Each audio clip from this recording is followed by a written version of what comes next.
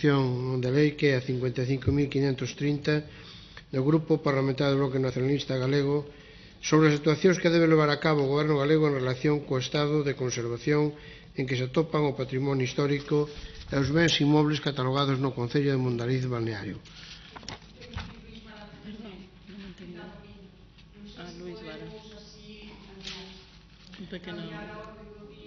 Se estamos de acordo, podemos pasar á seguinte e despois retrotraemos. Pasamos entonces á seguinte proposición de lei que é a 55.618 do Grupo Parlamentario Mixto sobre a actuación que delevará a cabo o Goberno galego en relación co borrador do anteproyecto de lei de reconhecimento da Universidade Intercontinental da Empresa impulsada por a banca. Para a presentación e defensa desta proposición ten a palabra a señora Vázquez Verao. Nada, simplemente que estará máis desordenado, pero nada, que xa, eh, a idea de traer este debate á comisión pois é porque considerábamos que ese sorpresivo anuncio do anteproxecto polo cal, de lei polo cal se, se, dá, se, se pretende recoñecer unha universidade privada no noso país considerábamos que non foi debatido suficientemente no Parlamento, precisamente por esa sorpresa que, que causou a súa exposición pública. Si sabemos, houbo unha resolución no debate do Estado da Nación deste ano. Non concordamos con ela, votámola en contra por ser unha declaración de intencións. Non é que non concordáramos co sentido da, da resolución aprobada, sino que nos parece que é unha declaración de intencións E, dende logo, o que tamén eh, ao final, pois si non concordamos no sentido de que consideramos que o sistema universitario galego público é suficiente para garantir pois as necesidades formativas, educativas no eido universitario investigador do noso país sen necesidade de pois, eh, impulsar unha universidade privada. Así, ademais, tamén consideramos que a Xunta non estivo á altura do seu papel a respecto das universidades galegas Por qué? Pois, en primeiro lugar, pois polas propias formas, porque tres días antes de publicar o anteproxecto no inicio do curso académico, Feijó non informou aos reitores de que isto se ia poñer en marcha tres días antes. Non? Despois tamén polo contexto, non? Levamos anos eh, nos que por parte da Xunta se impón esas famosas cláusulas de estabilidade que impiden pois o aumento de alumnado no sistema universitario galego, que impiden ofertar ou modular titulacións que teñen mm, demanda tanto formativa como pois polo súa eh, logo eh, despois eh, maior empregabilidade e que estamos tamén nun contexto nas últimas décadas de introdución da propia banca nas universidades. Este é un proceso que se ve moi claro e xa o temos debatido na cuestión dos préstamos para, para os estudos universitarios, nomeadamente nos mestrados, e isto é un proceso longo do cal pois semellanos que a entrada no sistema universitario galego dunha universidade privada auspiciada por un banco pois que non é a mellor nova e que afonda pois nun contexto no que isto pois xa se ven producindo. E pois por outra parte, pola propia falta de concreción e de claridade do anteproxecto de lei, non é por unha chapuza en xeral, eh, por a falta de documentación preceptiva neste anteproxecto de lei.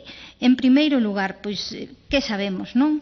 porque o propio anteproxecto de lei pois non é moi claro. É unha universidade privada impulsada pola banca, pero a través da súa fundación. Sen embargo, tampouco se chega a acordo do padroado desta fundación para a creación da universidade. Eh, sería, segundo o anteproxecto, pois eh, unha fundación sen ánimo de lucro, cun sistema de bolsas e axudos propio, modalidade presencial e semipresencial e dúas ramas de coñecemento xurídico social, enxeñería e arquitectura. Pero o que nos preocupa non é o que falta, é a falta de concreción neste anteproxecto, a marxe da nosa oposición de principio á existencia dunha universidade privada no país. Non? Eh, Empecemos, pois, por unha cuestión que xa viñamos eh, expoñendo. Non hai a concreción das titulacións e, polo tanto, tampouco hai a preceptivo plan de desenvolvemento desas titulacións que exixe o Real Decreto polo cal se, se crean centros universitarios. Non?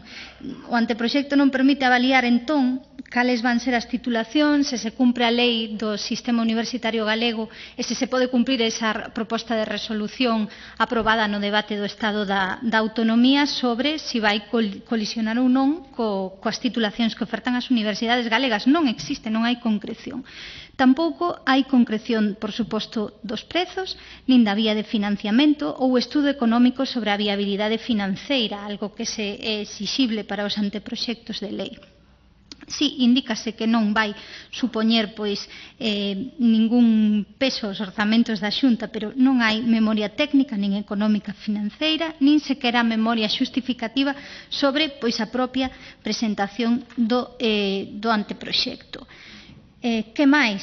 Pois non se cumple o procedimento específico regulado por a Lei do Sistema Universitario Galego para a creación dunha universidade privada, por o que dicíamos de non hai eh, constancia de cales van ser as titulacións, non hai os informes das institucións que, segundo, o sistema, segundo a lei do sistema universitario galego, son preceptivos, non hai programación de actividades, pois como di o Real Decreto que sinalábamos de creación de centros universitarios, non hai definido un modelo de gobernanza no anteproxecto, non define claramente a súa estrutura, outra cuestión que é preceptiva para a creación de unha universidade privada, e pois por faltar pois por sinalar algunha outra cuestión que, vin, que debatemos na anterior iniciativa non fai referencia á promoción da lingua galega, que tamén pois algo que, que o sistema, ao que o sistema universitario galego pois ten obriga de, de atender. Eh, o reitor da Universidade de Vigo xa mosara a súa preocupación hai anos pola posible implantación dunha oferta privada no sistema universitario galego e pedía lóxicamente o cumprimento da lei para que o catálogo de títulos non foran eh, complementarios aos do sistema universitario galego, seguindo precisamente ese artigo 13, o punto G, da Lei 6-2013, pero vendo anteproxecto non podemos determinar nada destas cuestións. Logo está o elemento pois de fondo. Nos, consideramos que non é precisa unha universidade privada no noso país na medida en que, como dicía o sistema universitario galego, as universidades públicas teñen capacidade de dar plenas respostas ás necesidades educativas e formativas cunha oferta que pois este ano pois superou en prazas as de alumnado que aprobou as probas de acceso á universidade. Mm, a Xunta o que debería facer e aumentar o diálogo co, coas universidades galegas, neso penso que na teoría estamos todos os grupos de acordo e temos aprobado cuestións e eh, iniciativas nese sentido, e pois debe pois permitir adecuar esa oferta de titulacións e, e permitir adecualas a esa demanda que durante estes anos pois non se lles permitiu. Nos estamos en contra de, de que se cree unha universidade privada no país e moito máis estamos en contra deste anteproxecto pois que efectivamente podemos decir que é unha chapuza por todos eses documentos que lle faltan e que son preceptivos segundo a propia lei dispón para eh, pois iniciar o procedimento de creación dunha universidade privada. Gracias, señora Vázquez Verao, por o Grupo Parlamentario do Bloque Nacionalista Galego. Señor Rodil. Grazas, eh, presidente. Eh, a ver, vou intentar fiar un pouco a miña intervención en relación á, á emenda que nos, que nos eh, presentamos. Presentámola de substitución para darlle o que nos entendemos é un pouco máis de encaixe a, eh, ao fondo que nos compartimos eh, da, da iniciativa que presenta o Grupo Mixto e que agora, que agora expuña a súa, a súa voceira. Nos eh, coincidimos plenamente en que o proceso de tramitación do anteproxecto de lei está sendo extremadamente opaco e extremadamente opaco non só co conxunto da comunidade educativa ou da cidadanía cando se expuxo eh, para consulta pública na, eh, na web, eh, no portal de transparencia da, da Xunta de Galiza, senón extremadamente opaco con esta Cámara. O noso grupo ten solicitado desde principios deste ano que se nos remitise todo eh, o expediente e toda a documentación que compoña o expediente de solicitude para o recoñecemento desta universidade privada eh, que formulou a Fundación, non a, a Fundación dependente da, da entidade financeira a banca. Todo o que se nos remitiu a este grupo, e despois poderá explicar... Oh, Gracias. Poderá explicar o, o portavoz do Partido Socialista, porque a nos respondennos eh, facendo referencia ao Grupo Parlamentario Socialista, non sei se vostedes tamén o, o pediron ou é que xa directamente eh, na Xunta en San Caetano pasase de todo eh, e non se sabe nin identificar os grupos polo seu, eh, polo seu nome, e todo o que nos remitiron foi isto. Un folio. Hai máis eh, páxinas en branco de entradilla que que realmente eh, documentación. Non? Básicamente, para sintetizarlles o que se nos responde é a información que xa se nos remitiu ao noso grupo oralmente cando preguntamos en decembro de 2018 por esta cuestión directamente ao secretario xeral de Universidades. Non se nos dá, polo tanto, acceso á proposta que formula eh, a banca eh, de cal é a súa idea do que quere, eh, do que quere crear. Até tan, tal punto a opacidade con esta Cámara e con este grupo parlamentario do Bloque Nacionalista Galego en concreto eh, chega que nos enteramos de algúns dos detalles da proposta da Fundación a través dos medios de comunicación, o que é de verdade unha falta de respecto, eh, eu creo, de lealdade hacia unha institución como é o Parlamento de Galiza. Por exemplo, nós temos coñecemento de cales son as dúas áreas de, eh, de, digamos nas que queren centrar a oferta formativa, que sería o ámbito das ciencias sociais e da arquitectura, a través dun medio de comunicación coñecidísimo neste, eh, neste país, non a través das canles que nos entendemos son as acaídas para eh, permitirnos o acceso á documentación, eh, á documentación oficial. Temos solicitado tamén, porque o que se di no anteproxecto que foi eh, que foi eh, publicado na web de transparencia, eh, existe un informe de viabilidade socioeconómica elaborado e asinado eh, pola Xunta de Galiza a través da Secretaría Xeral de Universidades e a esta Cámara Témolo solicitado polo artigo 9, non se ten remitido, polo menos ao Grupo Parlamentario do BNG, ese suposto informe de viabilidade, que en todo caso, e seguindo a normativa vixente neste país a través da Lei de Transparencia, debería ter acompañado a este anteproxecto cando foi pendurado na páxina web de, trans, de Transparencia, non? Porque sostén supostamente a viabilidade e a redacción do propio anteproxecto, eh, de antepro, o anteproxecto de, de lei, porque nós sabemos que a Xunta aplaude coas orellas que esta universidade privada se cree, pero non vemos ningunha soa razón eh, real, formal e material de que exista efectivamente esa viabilidade que non se contravén, como determina a legislación galega desde o ano 2013, eh, por exemplo, o réxime de incompatibilidades, as duplicidades ou as distorsións que poida xerar no sistema universitario público deste país, sobre a cal o meu grupo ten elevadísimas dúbidas, porque se damos por certo que se publica nos medios de comunicación, e aquí o confirmou o secretario xeral de Universidades, como non se vai duplicar se unha parte da oferta existe xa no sistema público, como pode ser a Administración e Dirección de Empresas ou Arquitectura pero habería que analizalo en todo caso en base á documentación oficial a que, insisto, o BNG non se lle está dando acceso. Eh, en síntese, nós o que propoñemos é que en todo caso se paralice cautelarmente. É obvio que a legislación galega e a galega e a estatal recoñecen a posibilidade de que se creen universidades privadas. É el mercado, amigos, que diría eh, Cristóbal Montoro, non? Efectivamente, existe a posibilidade de que se creen universidades privadas, pero tamén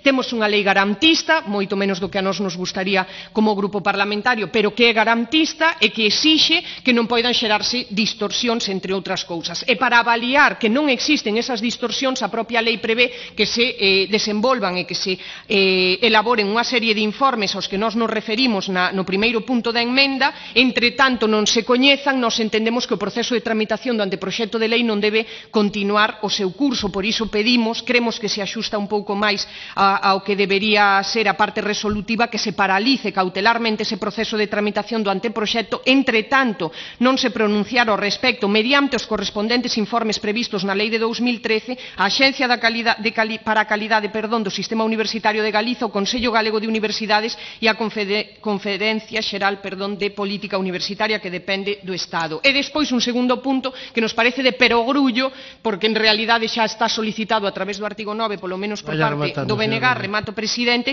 que se remita o Parlamento de Galiza no, praxi, no prazo máximo dunha semana, porque sabemos que o teñen, pero non o queren dar por algunha razón, eles saberán, no prazo máximo dunha semana toda a documentación relativa ao proceso de creación e recoñecemento desta universidade, que incluindo ese informe favorável de pertinencia socioeconómica que elaborou a Secretaría Xeral de Universidades e que non coñece absolutamente eh, non coñece absolutamente ninguén, pero ese expediente recolle, entre outras cousas, a proposta que formula a banca e que a este Parlamento, que en última instancia, lembrolles, a lei de 2013 prevé que ten que aprobarse a creación e o recoñecemento desa universidade neste Parlamento, os grupos deberíamos ter acceso eh, a él. Mais nada e moitas grazas.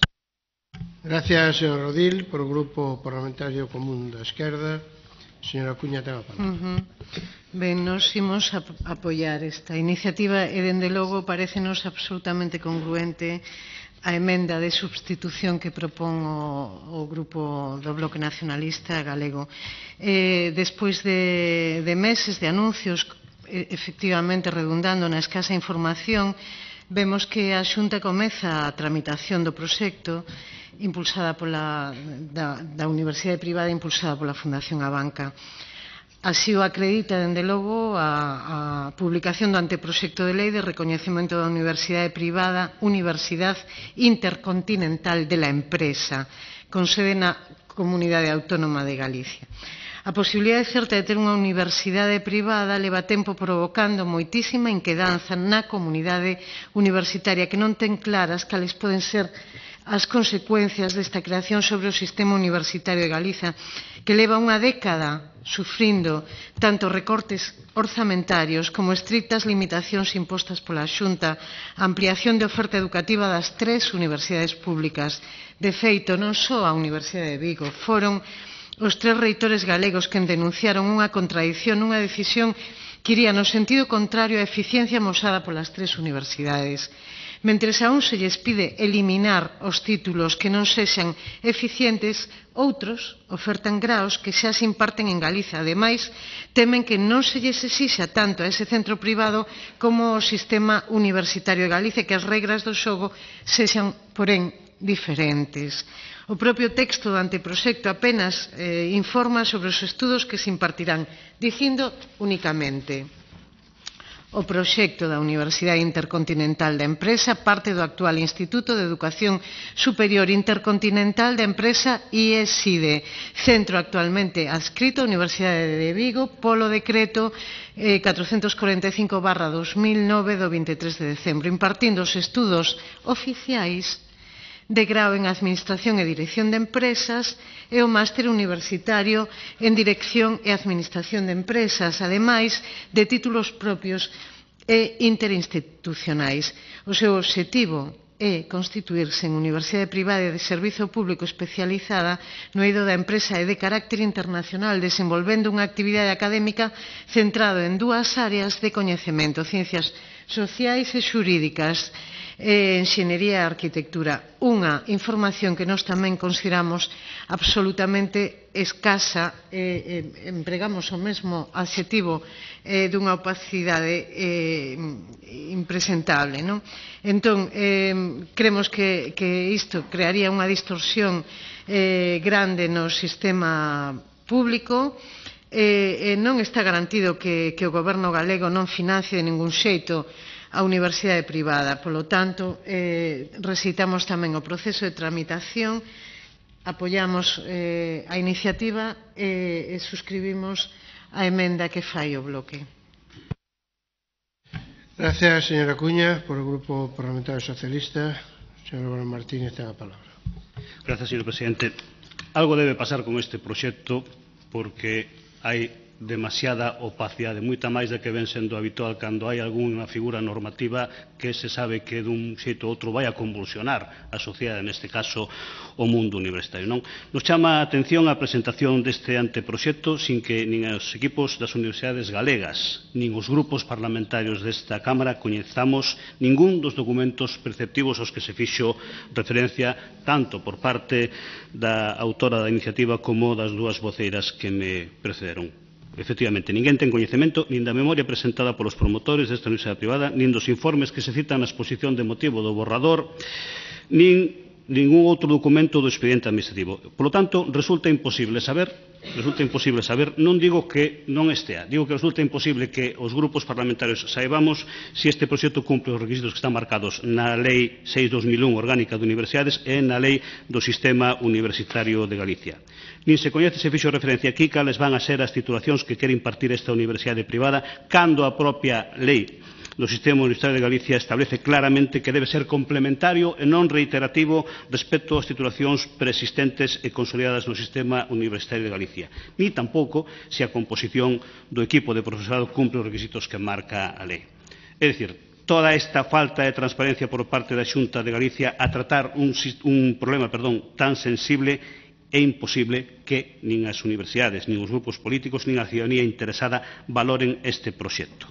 Este grupo parlamentario ten presentado, creo que como todos os grupos parlamentarios da oposición, prácticamente idénticas iniciativas orientadas con maior ou menor intensidade a modular a implementación desta nova universidade. E digo modular, non digo limitar nin impedir O que queremos, lexítimamente, é coñecer cales son todos os extremos de creación desta universidade. Máxime, cando temos asistido en varias ocasións dentro desta Comisión Cuarta nesta legislatura a intervencións por parte do Secretario Xeral da Universidade para defender a planificación do mapa de titulacións universitarias mezclando graos entre xa non campus distintos, sino universidades distintas temos proxectos entre a Universidade de Santiago, Campus de Lugo e a Universidade da Coruña, e, polo tanto, esas exixencias dun número mínimo de alumnos, que en algún momento hasta podemos considerar razoable, pero non unha forma de actuación xeralizada, que se piden á Universidade Pública que aquela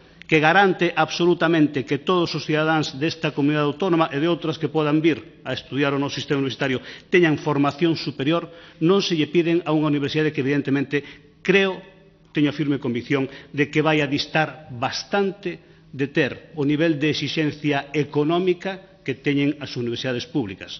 Cada un que interprete esta afirmación como considere, pero evidentemente unha universidade privada non é unha ONG nin está feita coa finalidade de formar e contribuir a mellor a sociedade. É, en sí, por definición, un negocio, evidentemente. Lexítimo, sí, pero é un negocio. E, por lo tanto, nos o que pedimos é esa transparencia en ese sentido incluso vamos a levar iniciativas ao pleno da próxima semana. Entendemos que esa falta de transparencia, esa falta de información é incompatible con un mínimo respeto xa, en primeiro lugar, a esta Cámara, pero en segundo lugar ou en primeiro aos integrantes do actual sistema universitario de Galicia e que, polo tanto, é incompatible, repito, con un Estado moderno, ou neste caso, con unha comunidade autónoma moderna.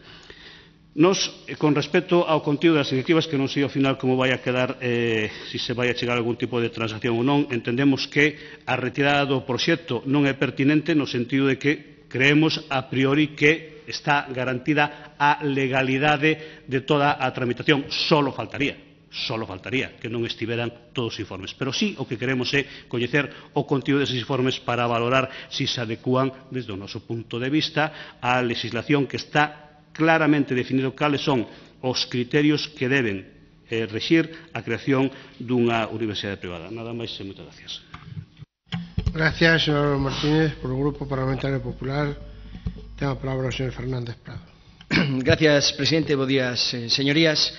Teño que reconocer cando leín esta, esta proposición, pois tuve que ler, a pesar de que era curta, un par de veces porque non, non o cría, e menos sinada por un deputado e, e, e magistrado. Digo na doble condición, porque evidentemente, como acaban de decir, eh, eu creo que vai en contra de toda a legislación vixente, Constitución, eh, procedimento, lei de procedimento administrativo, toda a lei universitaria, a LOU, vai en contra de toda a legislación, e por outra parte, como deputado ou deputadas, porque a competencia para a tramitación e aprobación de unha nova universidade é deste Parlamento. Non vamos a deixarlle a Xunta que tome eh, as ou que tome as competencias do legislativo. Hai que distinguir, isto ten que vir por unha lei, esa lei a tramitaremos nós, o Parlamento que lle toque, cando toque e cando sea oportuno dentro desta tramitación. Por lo tanto, ora xunta o que lle toca é unha proposición dunha fundación, non un banco, ningún negocio, dunha fundación sin ánimo de lucro, tramitala. Por certo, unha fundación que xa está impartindo docencia privada en, en Galicia. Pero digo, para que quede, igual que hai outras Falaba a señora Geodil de ADE e de arquitectura, xa se imparte ADE e arquitectura privada na Coruña en Cesuga. Sí, sí, privada. O que pasa é que dan os títulos por Zaragoza pero se imparte na Coruña e, e van galegos e galegas e pagan unha universidade privada. Pero, no, digo por aclarar, en calquer caso, extrañanos eh, bueno, pues que traigan este tema claramente, entendemos en nosa opinión, ideolóxico, é dicir, xa dixeron creo que con claridade algún dos grupos, non nos gusta, non, é, non nos, non, cando é é verdad que está permitido en España, en Galicia, pola legislación, e entendemos que hai que ser respetuosos con eso.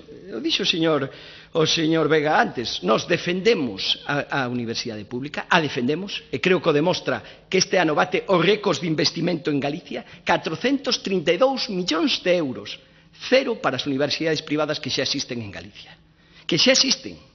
Cero, 432 millóns de euros, o récord absoluto 18% máis este plan co plan anterior para chegar en 4 anos a 2.480 millóns de euros de financiación. Creo que o compromiso ca Universidade Pública está clarísimo. En calquer caso, respetamos a universidade privada, respetamos o dereito dos galegas e galegos a, a escoller a educación que queren e o que sí que temos que Garantir, creo que o que estamos facendo é que a universidade pública sea o mellor posible e que todas as que se impartan privadas estén ao mesmo nivel eh, e teñan os mínimos niveles de exigencia de calidad que... Eh, por outra parte, a mí me gustaría recordar que, eh, claro, efectivamente, temos unha legislación autonómica moi, moi restrictiva, máis de toda España hai comunidades autónomas onde goberna a esquerda que hai universidades privadas.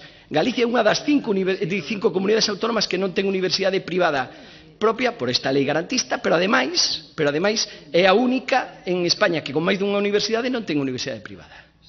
É dicir, creo que eso demostra o nivel de exixencia desa, da nosa lei. Eso non quere decir que a Xunta de Galicia non teña a obriga de tramitar un expediente. Por certo, falando da, da emenda do BNG, falan en unha contradición, porque dicen suspender cautelarmente a, a, a tramitación. Xusto, esa tramitación é que a, a que garante que se informen, porque o que lle toca, como dixo outro día o secretario xeral, que informe o, a esencia de Calidade do Sistema Universitario Galego, que informe o Consello Galego de Universidades e a Conferencia Xeral de eh, Política Universitaria no Ministerio. Eso, tramitación, e logo xa se verá unha vez cumplida toda a tramitación.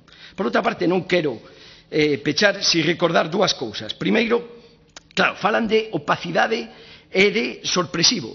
Pero si isto levamos falando toda a legislatura, xa veu aquí varias veces o, o secretario xeral, estuvo en Xaneiro en, en consultas previas, estuvo ahora eh, na web a consulta eh, eh, para alegacións, é dicir, por certo, eh, eh o que entendo é que, por artigo 9, no momento que pediron, mandaron a información que dispoñían. Se volve a pedir, estou absolutamente seguro que a Xunta enviará toda a información necesaria. En calquer caso, en calquer caso, xa explicou outro día o secretario xeral que os rectores tiñan coñecemento perfectamente do asunto e se hai algo que hai que felicitar a esta Secretaría Xeral da Consellería de Educación, os digo casi en todas as intervencións, é o diálogo con que se fala e que se ten cas universidades a través do sistema universitario galego, aprobando casi todo por unanimidade nos, de, dos tres eh, universidades e da Consellería.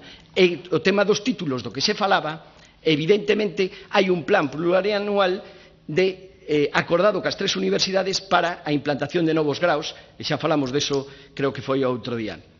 E esta, es, esta universidade, no momento que lle toque, procedimental, presentará os graus que lle toquen e serán avaliados coa mesma exixencia, se non é máis, que calquera dos grados públicos da nosa universidade. En calquer caso, eu creo, quero tamén recordar que fai unha semana xusto aprobamos eh, no debate no estado no debate do estado de autonomía unha pro, unha resolución mm, ademais transaccionada co grupo socialista que entendo que é moito máis realista, legal e que defende o interés xeral de Galicia moito máis que esta. Permítame pechar léndoa, por si, para que queden as actas. O Parlamento de Galicia insta a Xunta de Galicia a garantir que calquera incorporación de novas universidades ao sistema universitario Galicia evite efectos negativos ás existentes e produza complementariedade e non reiteración coa oferta de titulacións desta. Creo, sinceramente, que todas estas argumentacións pois explican que teríamos que rexeitar a súa proposta. Mais nada, moitas gracias. Gracias, señor Fernández Prado. Réplica para o Grupo Mixto, a señora Vázquez Verao. Eh, ben, é que nos sostemos que o que vai en contra da, da legislación é o propio anteproxecto, que en moitos casos non hai por onde collelo, e é certo, terá que vir a este Parlamento, teremos que, que posicionarnos sobre o mesmo, facer as nosas eh, enmendas que finalmente pois terán un resultado aciago dado a maioría que existe, pero é que vimos de analizar como o propio anteproxecto carece de documentación que preceptiva.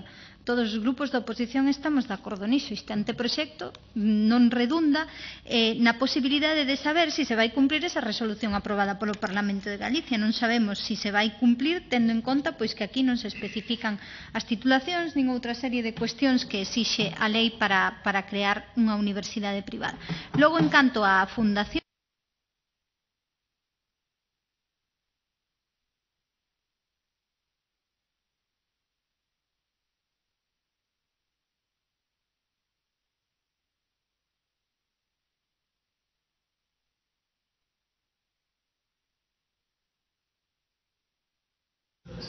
Bueno, igual, ata agora.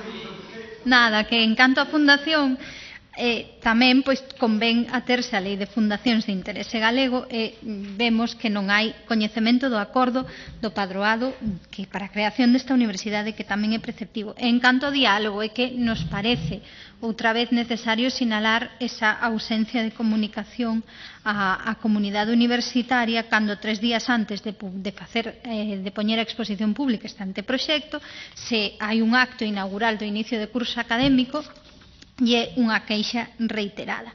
Ben, indo ao que falábamos de opacidade e falta de documentación, que darános tamén por comentar, que xa o sinalou o voceiro do PSOE, que tampouco se concreta calé o profesorado, que tamén unha eh, obriga, cando se impulsa a creación dunha universidade privada, ter persoal docente e investigador suficiente. E tamén, pois, sinalar esa cuestión de información a través dos medios de cales ian ser as titulacións, e repetimos, duvidamos que eh, as ramas nas que se sinala, das cales se sinala que van ser as titulacións, permitan cumplir precisamente con esa resolución e coa propia lei eh, no sentido de non reiterar pois titulacións do sistema universitario galego.